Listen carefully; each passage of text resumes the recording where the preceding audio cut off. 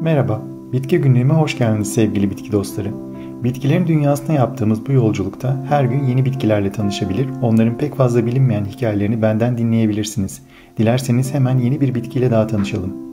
Adaça ya da Latince adıyla Salvia officinalis, ballı babagiller yani Lamiaceae familyasından çok yıllık yaprak dökmeyen, uzun yıllardır hem tıbbi ve aromatik bir bitki hem de süs bitkisi olarak kullanılan bir çalı türüdür. Genellikle tüylü grimsi yapraklara ve mavimsi mor çiçeklere sahip olan, doğada kuru ve taşlı dere yataklarında bulunan ada çayının ana vatanı Akdeniz'dir. Fakat günümüzde farklı türleri dünyanın her yerinde yetiştirilir. Ada çayının mor, pembe, krem rengi, sarı ve alaca yaprakları, beyaz, pembe ya da mor çiçekli olan türleri de vardır. Ada çayı tujon adı verilen zehirli bileşik nedeniyle fazla tüketilmemesi gereken bir bitkidir. En yaygın kullanılan türü Salvia lavandifolia bu maddeyi daha az içerdiği için tercih edilir. Ada çayı insanlık tarihinde ilaç olarak kullanılan en eski bitkilerden biridir. Kötülüklerden korunmak için tütsü olarak yakılabildiği gibi yılan ısırıklarını tedavi etmek ya da kadınlarda doğurganlığı arttırmak gibi çeşitli nedenlerle de kullanılmıştır. Romalılar onu mikrop öldürücü ve kanı durdurucu niteliklerinden ötürü yara tedavilerinde kullanmışlardır. Orta çağda görülen veba salgınlarını bile önleyebileceğine inanılan ada çayı o dönemde o kadar popülerleşmiştir ki manastır bahçelerinde yetiştirilmeye başlanmıştır. Ona salvia yani kurtarıcı ya da sağlık veren denmesinin nedeni de her derde deva bir bitki olarak kabul edilmesiymiş. Hatta Ortaçağ Avrupa'sında bahçesinde ada çayı olan bir adam niye ölsün ki diye eski bir deyiş bile vardır. Hatta tıbbi bitkilerin latince isimlerindeki officinalis ibaresi de manastırlarda tıbbi otların konulduğu odaya yani officina'ya ait anlamına gelmektedir.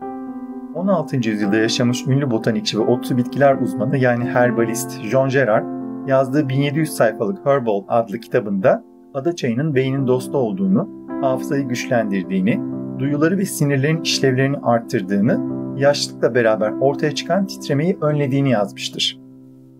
Fakat ada çayının kullanım alanı bununla da sınırlı değildir ağız, dil ve boğaz enfeksiyonlarında, böcek ve yaban arısı sokmalarında, saç bakımında, akıl ve sinir hastalıklarında ve ayrıca ateşli hastalıklarda ateş düşürücü olarak da kullanılmıştır. Ada çayının sadece ilaç olarak kullanıldığını sanıyorsanız yanılıyorsunuz. İtalyan, Orta Doğu ve Balkan mutfağında ada çayı bir baharat olarak da kullanılmaktadır. İngilizler yılbaşında, Amerikalılar ise şükran günü yemeklerinde doldurdukları hindilerin harcına da ada çayı koyarlar. Bitki 1966 sonbaharında Simon Garfunkel ikilisinin enfes şekilde yorumladığı geleneksel İngiliz aşk şarkısı Scarborough Fair'de sözü geçen İngilizlerin önem verdiği dört önemli otsu bitkiden yani maydanoz, adaçayı, biberiye ve kekikten biridir. Bu 13. yüzyıla ait aşk şarkısında maydanoz yürek acısını, adaçayı sabırlı ve güçlü olmayı, biberiye basiretli ve duyarlı olmayı, kekik ise cesaret simgeliyormuş. Bu arada gariptir ki adaçayı bir tek dünyaca ünlü Fransız mutfağında kendine önemli bir yer edinememiştir. Hatta pek de sevilmez. Ve tabi adaçayı aynı zamanda bahçelerde sık gördüğümüz arıların ve kelebeklerin sevgilisi olan süs bitkilerinden biridir. Yeşil ve beyaz alacalı yapraklara sahip ikterina ve mor yapraklı purpurescens türleri adaçayının bahçecilik ödülü almış gösterişli alt türlerinden sadece ikisidir mor yapraklı olan ada çayının yapraklarını diş fırçanızı kaybederseniz doğal bir diş fırçası olarak da kullanabileceğinizi de belirteyim. Ayrıca bahçenizde kompost hazırlarken ada çayının yapraklarından da katarak kompost işlemini hızlandırabilirsiniz. Eğer lahana ve havuçlarınız varsa bunların aralarına ada çayı da ekmeniz bitkilerinizin sağlıklı büyümesini sağlayabilir. Ağır veya asitli toprakları sevmeyen ada çayını Mart-Nisan aylarında tohumdan üretebilir, yaz başında da bahçedeki konumlarına taşıyabilirsiniz. Adaçayı yetiştirmek için tohum, yarı odun ve odun çeliği yöntemlerini tercih etmeniz yeterli. Ayrıca daldırma yöntemlerini tohuma göre biraz daha zahmetli olsa da deneyebilirsiniz.